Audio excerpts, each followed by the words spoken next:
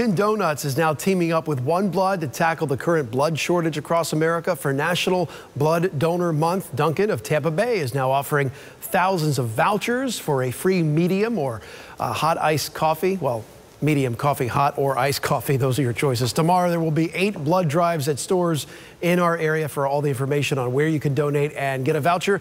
Go to abcactionnews.com. Still